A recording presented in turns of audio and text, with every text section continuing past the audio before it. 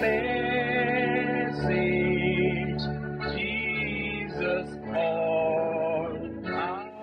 afternoon, everybody. You are about to watch Deeper Life Bible Church program, The Moment of Transformation. Today, by the grace of the Lord, we shall listen to our pastor, General Superintendent, Pastor W.F. Kumoyi. You are going to be blessed. It is my wish that you call your family to come and listen to you as our pastor is blessing you with his holiness message. Remain blessed. We're looking at Numbers chapter 23 from verse 19. Numbers 23, we're reading from verse 19. God is not a man that he should lie, neither the son of man that he should repent. As he said, and shall he not do it? Or as he spoken, and shall he not bring it to pass? Shall he not make it good? Behold, I have received commandment to bless. You are blessed. He has blessed and I cannot reverse it. Balaam said, God had blessed the people of God. And even Balaam, with all his soothsaying, all his power, all his sorcery, whatever he had, he confessed he could not reverse it. And Balaam is stronger than any enemy that is living today. If he could not reverse it, no enemy will reverse your blessing in Jesus' name. Look at verse 21. He has not beheld iniquity in Jacob, neither has he seen perverseness in Israel. The Lord is God is with him. Is the Lord with you over there?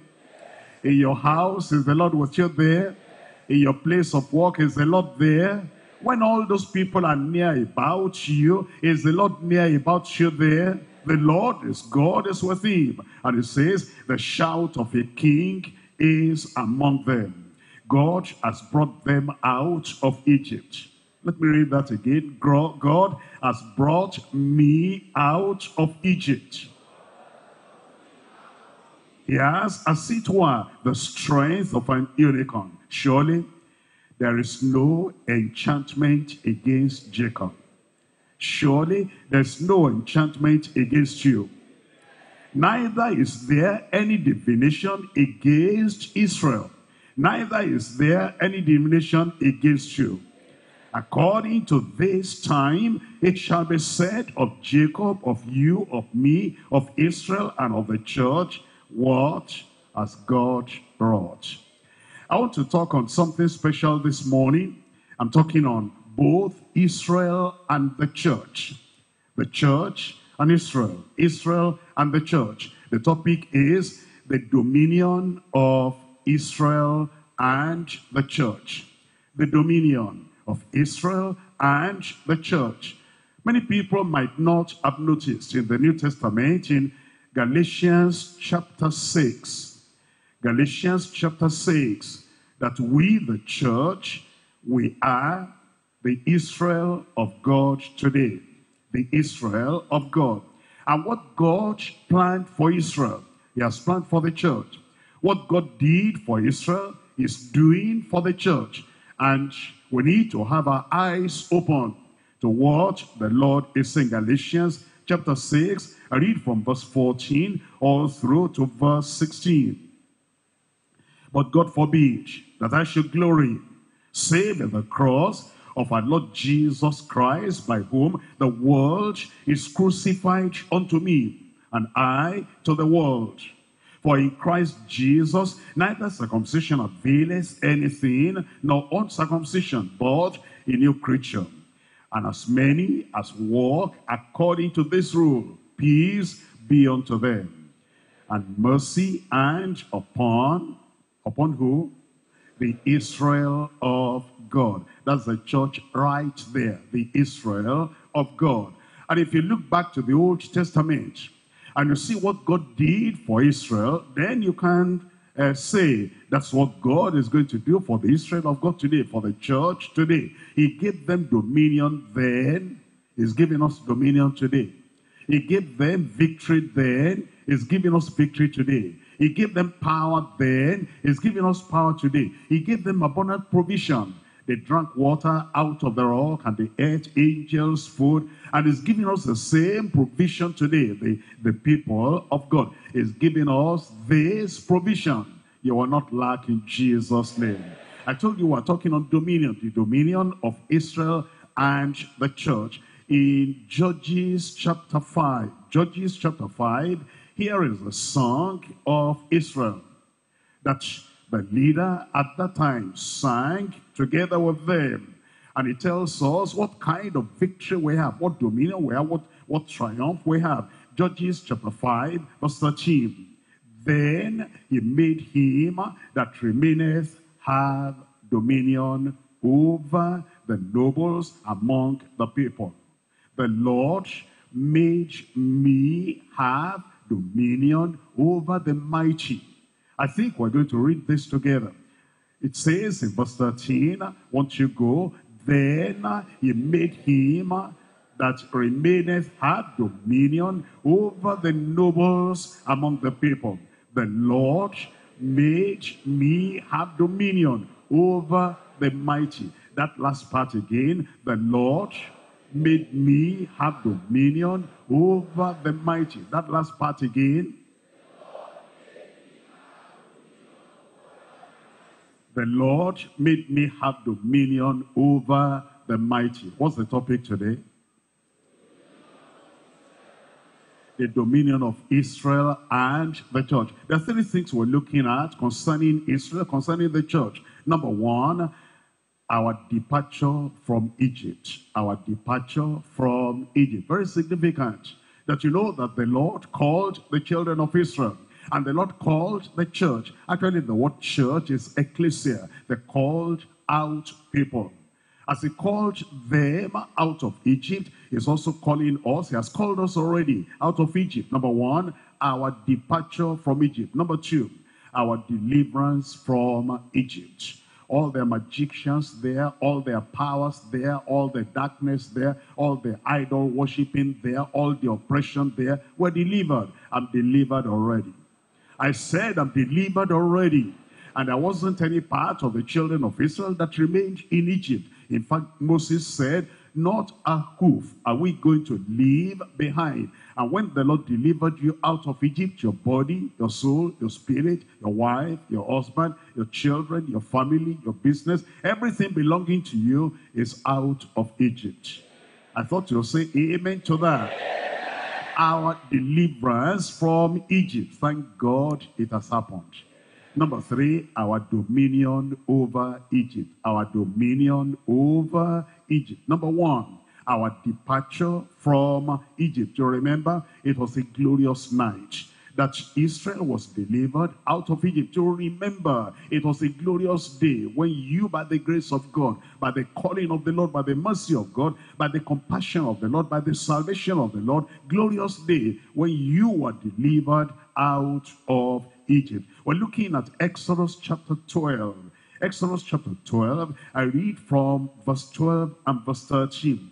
It says in verse 12, it says, For I will pass through the land of Egypt this night, and will smite all the firstborn in the land of Egypt, both man and beast, and against all the gods of Egypt.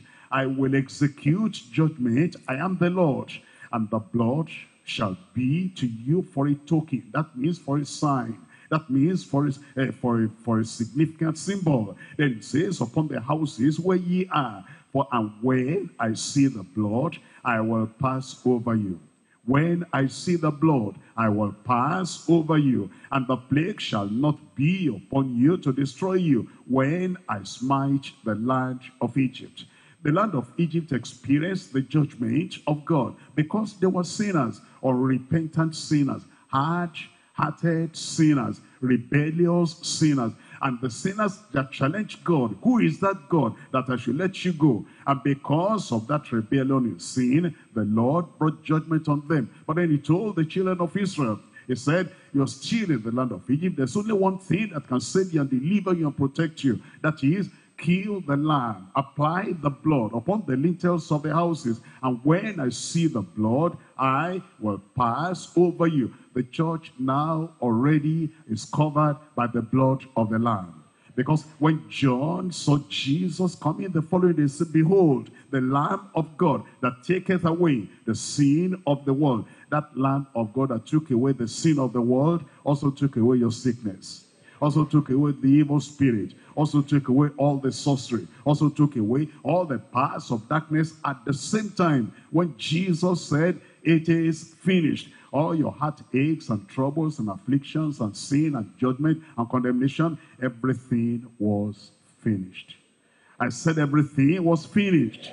Look at verse 26. In verse 26, and it shall come to pass when your children shall say unto you, What mean ye by this service? That ye shall say, It is the sacrifice of the Lord's Passover, who passed over the houses of the children of Israel in Egypt when he smote the Egyptians and delivered our houses as he's delivering your house today.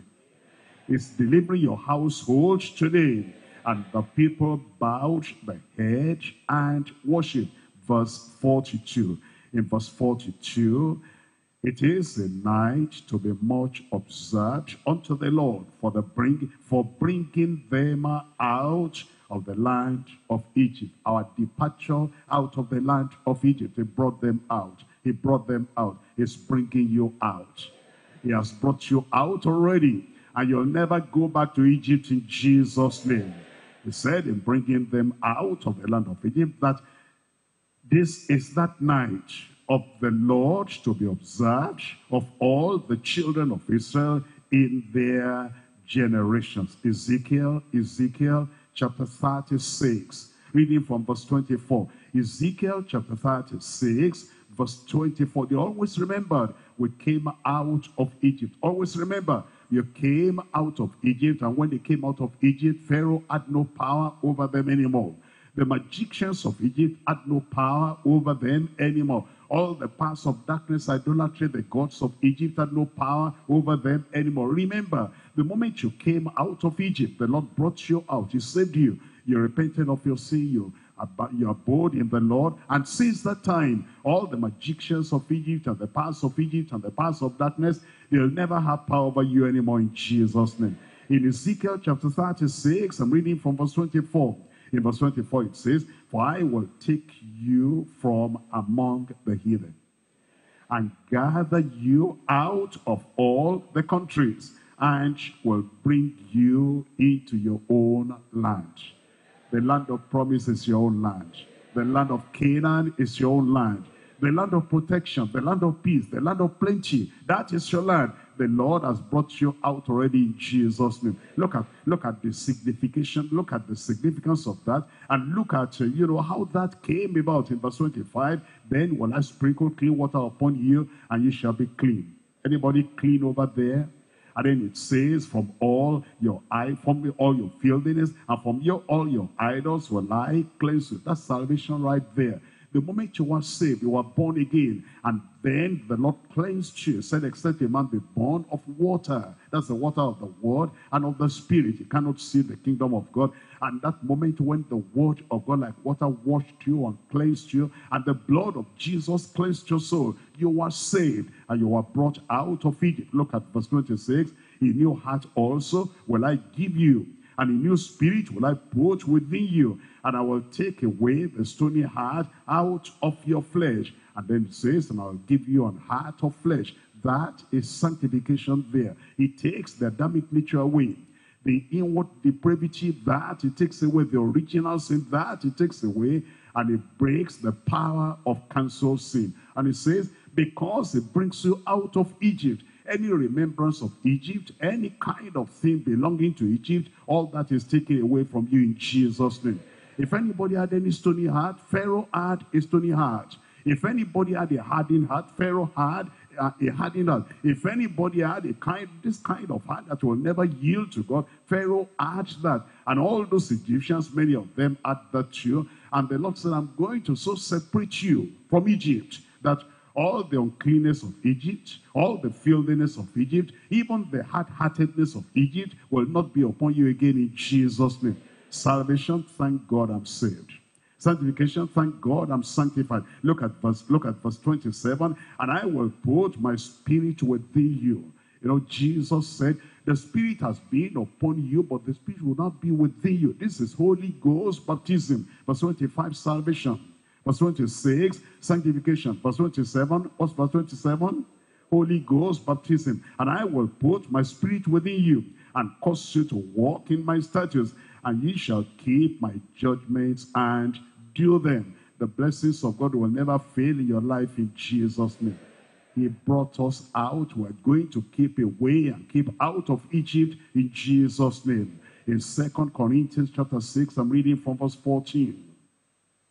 Second Corinthians chapter 6, I'm reading from verse 14. Be not unequally yoked together with unbelievers. Remember once again, we're talking about Israel and the church. God brought Israel out of the out of the land of Egypt. It will be unthinkable, unthinkable, impracticable. There was no way any of the children of Israel could have gotten married to an Egyptian and say, you know, I want to go back. How is he going to go back? A Red Sea already divided the children of Israel from the Egyptians. And all the, all the Pharaoh and the magicians and the chariots and all those people, they were drowned in the sea. And when they were drowned, the sea came back and then continued to, it was very deep and very wide.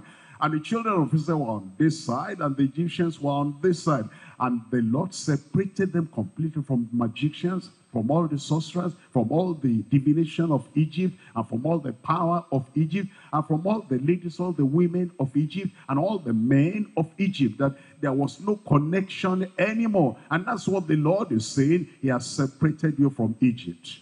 There's no connection anymore in Jesus' name. There was no way that any of the children of Israel could go back to the Egyptians and, and become business partners with those Egyptians. Impossible because a river separated them. And it's the same thing with the church today, that the church, the people of God, will not go back to Egypt and go back to the world and make marriages with them and then have business with them, join affinity with them. That's why it says, uh, Be ye not unequally yoked together with unbelievers, for what fellowship has righteousness with unrighteousness? There is a fixed God between righteousness and unrighteousness. We cannot cross over. And what communion has the light with darkness? There is a wide gap, a wide distance between light and darkness, and we cannot the light will not marry in the dark, will not marry darkness, will not marry the children of darkness. And then it says in verse 15, and what concord has Christ with Belial? Or what part has he that believeth with an infidel? What agreement has the temple of God with idols? For ye are the temples of the living God. Is that right? Ye are the temples of the living God. And as God has said, I will dwell in them and I will walk in them, and I will be their God, and they shall be my people. Verse 17, everybody read this. One, two, three, go.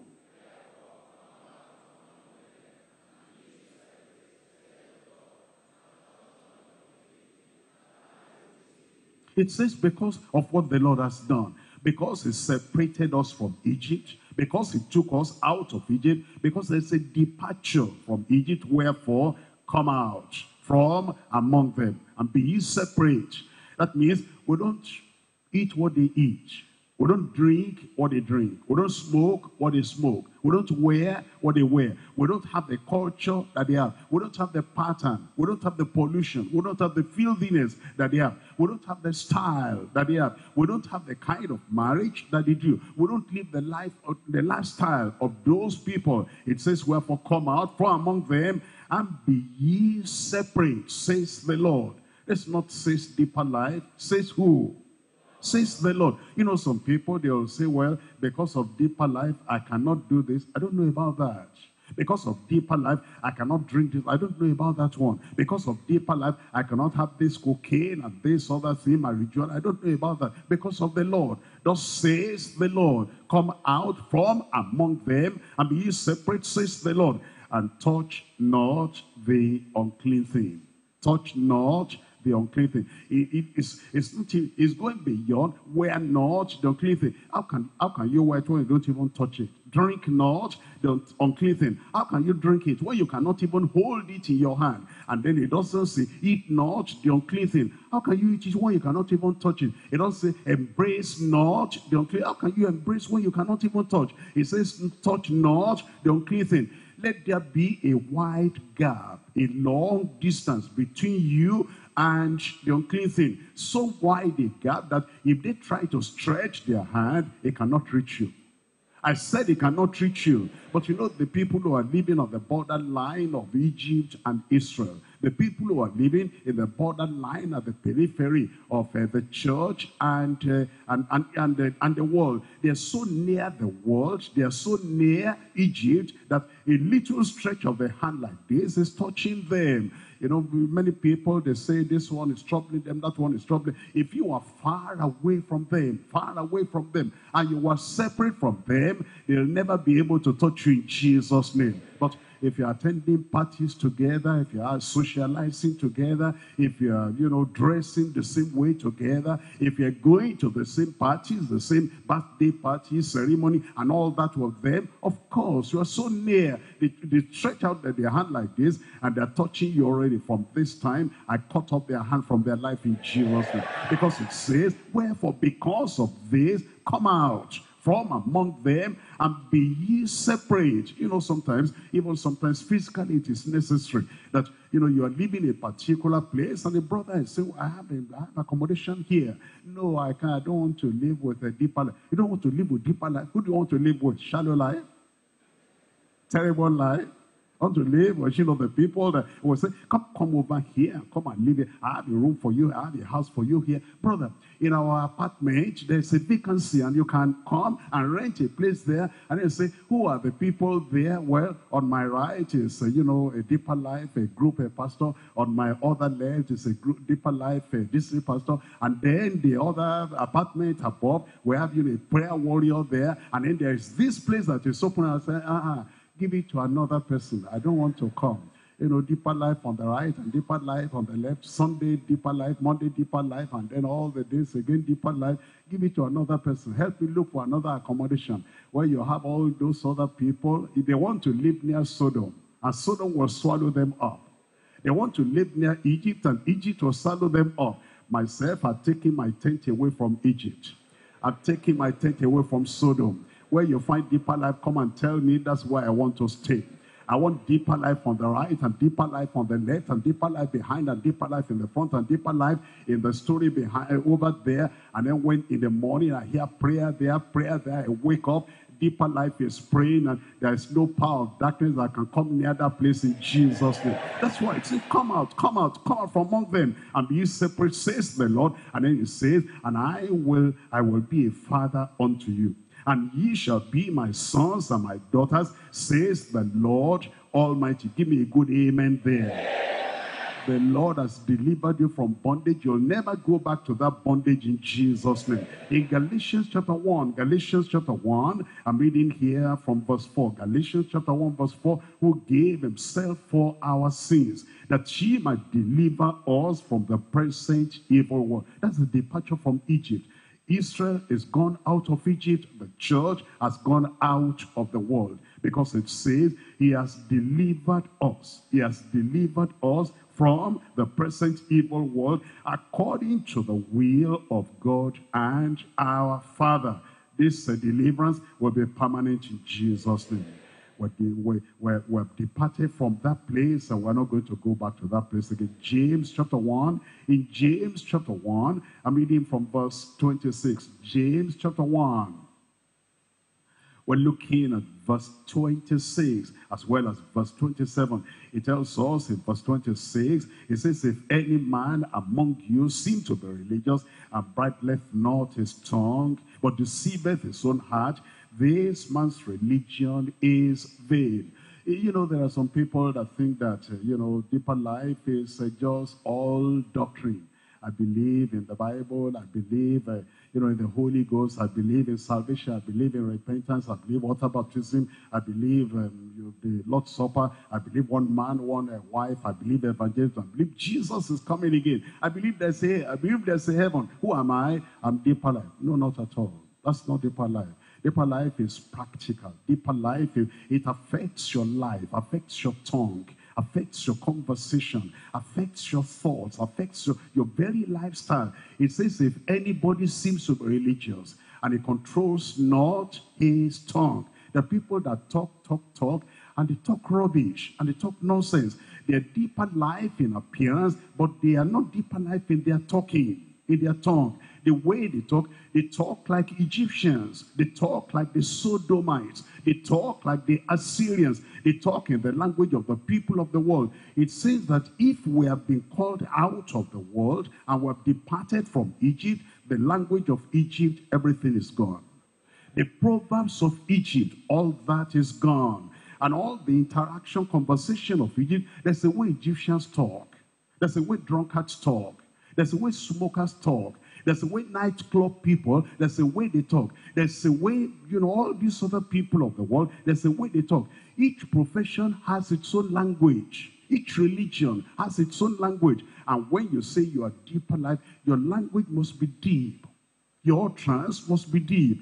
It must bring people out of shallowness into something that is deep. That's deeper life. But the people that never control their tongue, you know, they just talk and everything is shallow. You cannot even find any meaning in what they are saying. The, the Lord is saying, let's totally come out of Egypt. If Egypt is out of our lives, let us see the evidence that Egypt is totally out. And this morning, I believe Egypt will be totally out in Jesus' name. Look at verse 27. It says, pure religion and undefiled before God and the Father is this, to visit the fatherless in their affliction and to keep himself, tell me, unspotted, unspotted from the world. To keep, uh, to, it says, to keep himself and to keep herself unspotted, undefiled by the world. They will not defile us in Jesus' name. And there's a passage in Micah. I don't know whether you've seen this before. If you've not seen this before, you need to see this. Micah chapter 2. Micah chapter 2. It's uh, near the end of the Old Testament, Micah chapter 2. And we're reading there in verse 10, the departure from Egypt, our departure from Egypt. He wants us to depart. He wants us to look around you. Am I still tied down in the aprons of Egypt and the chains of Egypt and all these things that surround me? Is there anything of Egyptians in my life surrounding me? And the Lord is saying, depart, depart. This is not your place of rest. Let's look at this in Micah chapter 2. Have you found Micah chapter 2? How many of you have found it? Okay, thank you very much. If there's somebody by your side who has not found Micah chapter 2, and uh, show it to them how to get it. It says in Micah chapter 2, verse 10, Arise ye and depart. Arise ye and depart. Arise ye and depart. For this is not your rest. For this is not your rest. Look up here for a moment. I want to, you know, tell you a particular secret now. You see the children of Israel, when temporarily the Lord allowed them with Jacob to go to Egypt. But that was not the place of their rest. That was not the final place that God had for them. But the Pharaoh that was there at that time, he made things uh, comfortable for them. They were happy there. They, you know, had the land of Goshen, but was still part of Egypt. And then eventually, you know, Pharaoh, that Pharaoh died. If the next Pharaoh had been so nice to them, they would have lived forever in Egypt. But the Lord did something. He made the heart of the Pharaoh that came on at that time to be against them. And there was oppression on them. The oppression on them, God knew about it. Then they began to cry out. It was then they realized, ah, ah this is not our place. If everything was easy, everything was uh, comfortable, everything was happy with them, they would never have thought of wanting to go out of Egypt. But the Lord so organized and arranged things that things were not easy. Many times in our lives, you know, we're born again, we're children of God. And the place we are, that's not the place we ought to be. If everybody there, if they were loving and caring, accommodating, and very nice, and you, and you felt at ease, you will stay there forever. So God allows, you know, some things to brush you and push you and all that. Then you begin to look around. What am I doing here? What am I doing here? That's exactly what the Lord wanted to achieve by allowing all those things. Because if everything was just easy, you'll never think of coming out. That's why now Micah was telling, don't feel at ease in that place. That is not your place of rest. We're coming out of that place. I said we're coming out. And if you have been asking the question, why am I undergoing this in this place, undergoing that in that place, undergoing that in that place, maybe God is telling you that that is not your place of rest. you are, you are now relaxing in that place. And the Lord wants you to come out of that place. That's why it's allowing all those things to come upon your life there. Come out, and the Lord will bring you to this land flowing with milk and honey in Jesus' name. The rest of your life, when you come out of that place, the rest of your life will be a beautiful life in Jesus' name. Micah chapter 2, verse 10, Arise ye and depart. And then it says, For this is not your rest, because it is polluted. That's Egypt. Egypt is polluted. It is polluted. It shall destroy you, even with a sore destruction. That's why we're departing out of Egypt, and we're not going to go back into that Egypt in Jesus' name. Number one, our departure from Egypt. Are you out already? I said, are you out already? Number, number two now, our deliverance from Egypt. Our deliverance from Egypt. Uh, we need to understand this, that the Lord has so made it very clear that we are delivered from Egypt. Because of the importance of this section of the message, I'm going to go one by one and spell it out for you very well. Our deliverance from Egypt. Number one, our deliverance from the king of Egypt. Our deliverance from the king of Egypt. Number two, our deliverance from the affliction of Egypt.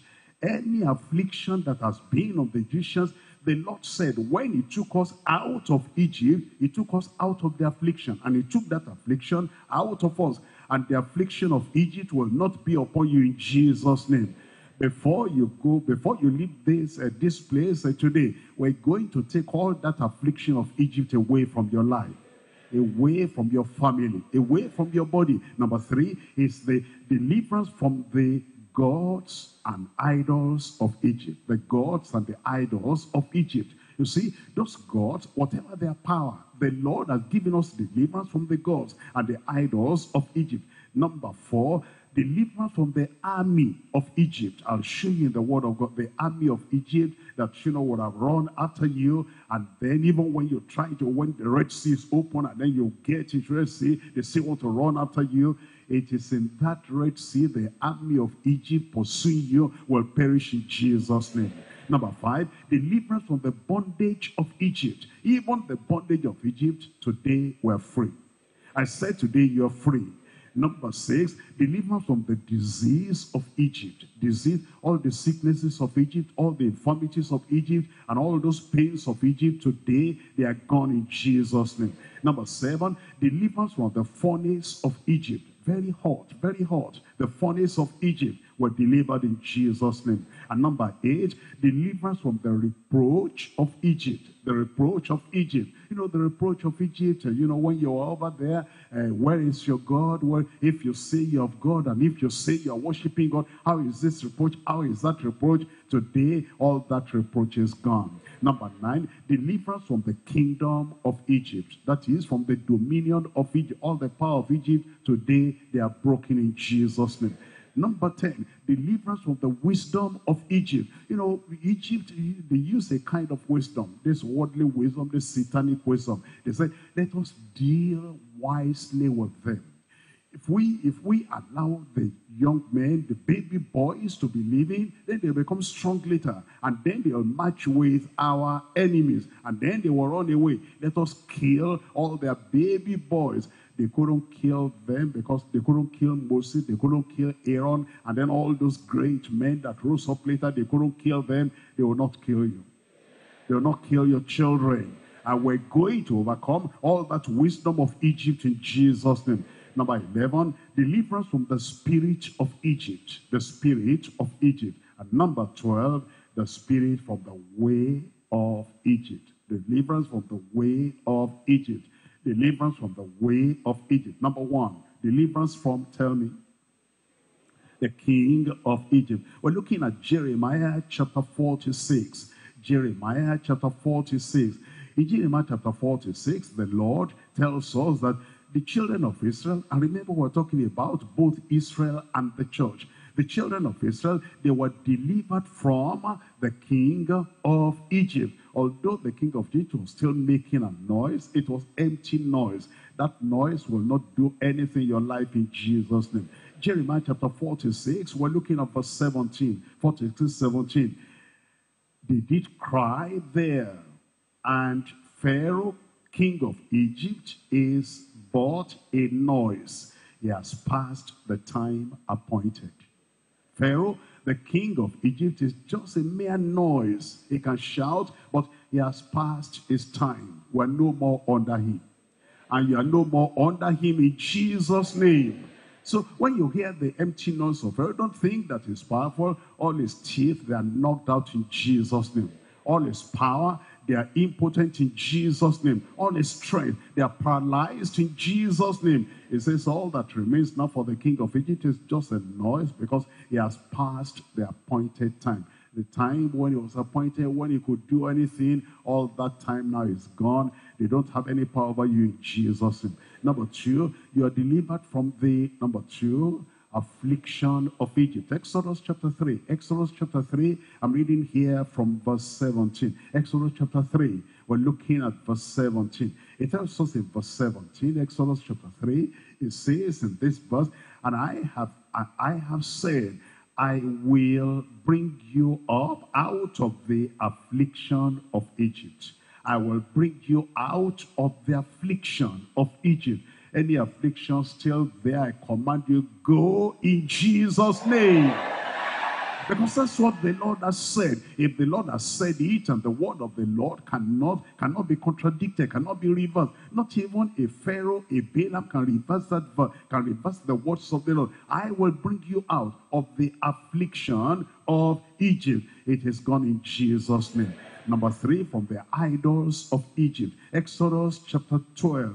Exodus chapter 12, and we're looking at verse, we're looking at verse 12 and verse 13. 12 and 13. When you know this, it's good to read it again. For I will pass through the land of Egypt this night and will smite all the firstborn in the land of Egypt, both man and beast, and against all the gods of Egypt. Against all the gods of Egypt, against all the gods of Egypt, I will execute judgment. I am the Lord and the blood shall be for you a sign, a symbol, will be a token upon the houses where ye are. And when I see the blood, I will pass over you. And the plague shall not be upon you to destroy you when I smite the land of Egypt. Isaiah chapter 19. Isaiah chapter 19, we're reading from verse 1. All the gods of Egypt, they are destroyed in Jesus' name. Isaiah chapter 19, I'm reading from verse 1. It says, it was on the burden of Egypt, Behold, the Lord rideth upon a swift cloud, and shall come into Egypt, and the idols of Egypt shall be moved at his presence. The idols of Egypt shall be moved at his presence, and the heart of Egypt shall melt in the midst of it. So all the idols and all the gods of Egypt and of the village and everything were delivered in Jesus' name. Idols by the sea, idols in the forest, idols in the desert, idols anywhere. They don't have power over the church anymore. Neither do they have any power over you in Jesus' name. Number four, we're delivered from the army of Egypt, from the chariots of Egypt, from the army of Egypt. We're looking at Deuteronomy chapter 11, Deuteronomy chapter 11. I'm reading here from verse 1 all through to verse 4. Deuteronomy chapter 11. I'm reading from verse 1. It says, Therefore, thou shalt love the Lord thy God and keep his charge and his statutes and his judgments and his commandments always. And it says, And know ye this day, for I speak not with your children, which have not known and which have not seen the chastisement of the Lord your God, his greatness, his mighty hand, and his stretched out arm, and his miracles and his acts, which he did in the midst of Egypt unto Pharaoh, the king of Egypt, and unto all his sons. Look at verse 4 now. For what and what he did unto the army of Egypt what he did unto the army of Egypt. What he did unto the army of Egypt. What did he do to the army of Egypt? He drowned the army of Egypt in the Red Sea. That they had no power over the children of Israel anymore. And the army of uh, all the powers of darkness in this world, they cannot touch you anymore in Jesus' name. And it says, see what he did to the army of Egypt, unto their horses and to their chariots, how he made the water of the Red Sea to overflow them, as they pursued after you, and how the Lord has destroyed them, not only at that time, unto, unto, I said unto, they are all destroyed in Jesus' name. Number five, from the bondage of Egypt, from the bondage of Egypt, from the bondage of Egypt, deliverance from the bondage of Egypt. It says in Leviticus chapter 26, Leviticus chapter 26, we're looking at verse 13. Leviticus 26, verse 13. I am the Lord your God, which brought you forth out of the land of Egypt, that ye should not be their bondmen. You'll not be in bondage anymore. You will not be their bondmen, and I have broken the bands of your yoke. Do you have any yoke left? They are destroyed in Jesus' name. And made you go upright and made you go free. Number six, were delivered from the diseases of Egypt. Deuteronomy chapter 7, verse 15. Deuteronomy chapter 7.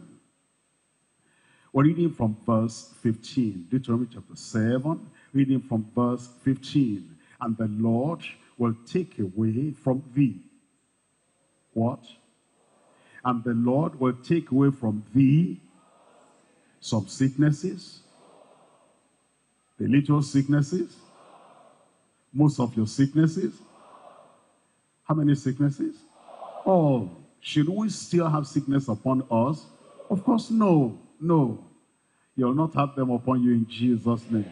And the Lord, and the Lord will take away from thee all sickness and will put none of the evil diseases of Egypt. There you are. The evil diseases of Egypt. The evil diseases of Egypt, which thou knowest upon thee, but will lay them upon all them that hate thee. Number seven, were delivered from the furnace of Egypt. From the furnace of Egypt. Deuteronomy chapter 4. Deuteronomy chapter 4. We're reading from verse 20. Deuteronomy chapter 4. Reading from verse 20. It says in verse 20, But the Lord has taken you and brought you forth out of the iron furnace. He has brought you forth out of the iron furnace, even out of Egypt, to be unto him a people of inheritance, as ye are this day. As you look at what the Lord has done for the children of Israel, anything connected with Egypt, Call it the king of Egypt, call it the affliction of Egypt, or the gods, or the idols of Egypt, or the army and the chariots of Egypt, or the bondage of Egypt, or disease of Egypt, or even the furnace of Egypt. The Lord has taken everything away. And if you are the Israel of God, the people of God, the Christians, the church of the living God, the called out people, the ecclesia, the redeemed of the Lord, those who are purchased by the blood of the Lamb, all those things are taken away from your life in Jesus' name. And it means you are free and free indeed. And that's what Jesus said, that if the Son shall make you free, ye shall be free indeed. That means 100% free. Free in your head and free in your mind. Free in your body and free in your soul. And free in your spirit and free in your heart. And free in your house and free in your office. And free in the church and free everywhere. Because all those bondages of Egypt, everything is cancelled and destroyed away from your life in Jesus' name. Number eight, he has delivered you from the reproach, the reproach and the reproaches of Egypt. We're looking at Joshua chapter 5, Joshua chapter 5, and I'm reading from verse 9. Joshua chapter 5, and I'm reading here from verse 9. In verse 9 it says, And the Lord said unto Joshua, this day have I rolled away the reproach of Egypt from off you. This day. Everybody say this day. Look at your day today. What a day. The Lord has taken away from you all the reproach of Egypt in Jesus' name. The reproach of barrenness is taken away. And the reproach of leprosy is taken away the reproach of where is your God? The reproach of poverty that is taken away in Jesus' name. You know, the, you, you, are coming to us now. You want to borrow from us. I thought you said you have gone with Christ. You've gone to deeper life. You've gone to church. Okay, if you want to get money from us and you know you are poor and we are rich, you are going to be richer than them all. Because all the reproach of Egypt is gone in Jesus' name. You will not borrow from the world You will not beg the people of the world to feed you because the Lord will provide for all your needs in Jesus' name.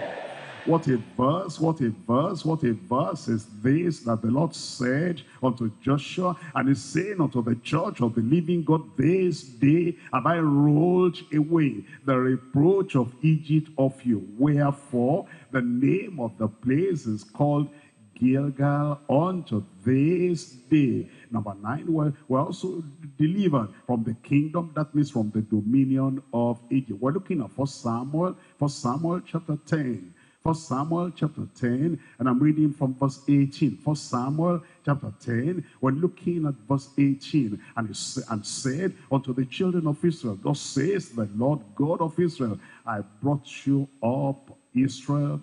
I brought up Israel out of Egypt and delivered you out of the hand of the Egyptians and out of the hand of all kingdoms and of them that oppressed you the kingdom of darkness will not oppress you anymore because we're delivered out of the kingdom of dominion of Egypt. Now, there's the wisdom of Egypt, with the wisdom of Egypt. The people of this world, they are wise in their generations. They are wise in their wickedness. They are wise in their oppression. They are wise in their evil. They, they are wise and methodical in how they try to bring you under. You'll not come under any Egyptian.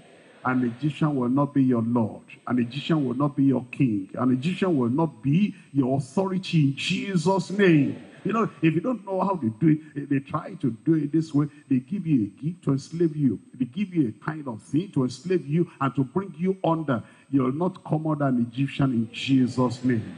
You know, they try to, uh, later they intimidate you. They make you afraid. So that, you know, if you want, they say, where are you going? Where are you going? And then you say, I'm going to church. They say, which church? They say, uh, you can go to this kind of church. They'll show you a church where there's no Bible, where there's no doctrine, where there's no power, where there's no authority. So you can go to that one. If you say, no, I want to go to deeper life. It is even you, the way you mentioned deeper life, they know that your own deeper life is small d and small e and small e and small p and small e and small and small p and small r and then small l and small i and small f and small e deeper life. But me, I don't go to deeper life. Where do I go? Deeper life with a capital D. I said capital D. When I tell the people, like, oh, they say, I'm sorry, I'm sorry. Of course, they must be sorry. I said they will be sorry. They will leave you alone in Jesus' name. You will not come under the wisdom of Egypt in Jesus' name. God has given us a kind of wisdom that is greater than the wisdom of any Egyptian anywhere. We will control them. They will not control us. I want you to look at First Kings. We're looking at First Kings chapter 4. First Kings chapter 4. And I'm reading here from verse 30. First Kings chapter 4, verse 30. And you'll see that he has delivered us from all those, uh, you know, mach machinations and all those manipulations and all those principles and all those orchestration of the people of Egypt. We're free and we're free indeed and free forever in Jesus' name. You know, the children of Egypt, they, try to use that kind of wisdom. They'll keep them in bondage forever, bondage forever. A kind of wisdom that will keep you in bondage will not be upon your life again in Jesus' name. Look at this. It's First Kings chapter 4, verse 30. First Kings chapter 4, verse 30. And Solomon's wisdom excelled the wisdom of all the wisdom of the east country and all the wisdom of all the wisdom of Egypt. What's the wisdom of Egypt? Let me show you. Let me show you. It's Exodus chapter 1. Exodus chapter 1, the, the wisdom of Egypt. That the Lord has delivered you, delivered us, delivered the church from. Exodus chapter 1, I'm reading from verse 10. It says in verse 10, come on. Let us deal wisely with them. Wisdom of Egypt. Let us deal wisely with them I pray this day all that wisdom of Egypt is totally knocked out and destroyed out of your life in Jesus' name. Let us deal wisely with them, lest they multiply. And it come to pass that when there falleth out any war, they join also unto our enemies and fight against us and so get them out of the land. And the reason why they're trying to use that wisdom of Egypt is so that you will never get out of their midst. You know, they'll keep you under every time we say never. We say, God forbid that Egypt will not keep you under for the rest of your life in Jesus' name. That's why they're trying to use that kind of wisdom, but thank God I am free. I said, thank God I am free. And thank God our church is free. Number 11 is the spirit of Egypt. We're looking at, uh, at Isaiah chapter 19 verse 2. Isaiah chapter 19, we're looking at verse 2. It says, we're delivered also from the spirit of Egypt, from the spirit of Egypt. We're looking at chapter 19, verse 2. And I will set the Egyptians against the Egyptians. Instead of fighting me, they'll be fighting themselves. Instead of fighting you, they'll be fighting themselves. And then, and they shall fight everyone against his brother. Fighting belongs to them, but peace belongs to us. And everyone against his neighbor. City against city, and kingdom against kingdom. And the spirit of Egypt shall fail. The spirit of Egypt shall fail the spirit of Egypt shall fail in the midst thereof, and I will destroy the counsel thereof, and they shall seek to the idols, and to the charmers, and to them that have familiar spirit, and to the wizards, and the Egyptians will I give over unto the hand of a cruel Lord the Egyptians, all those Egyptians that tried to seek through their evil spirit, evil power, I give them to the hands of a cruel Lord, and a fierce king shall rule over them, says the Lord, the Lord of hosts.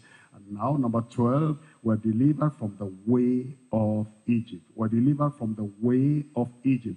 The way of Egypt, the practice of Egypt, the lifestyle of Egypt will not be upon our lives anymore in Jesus' name.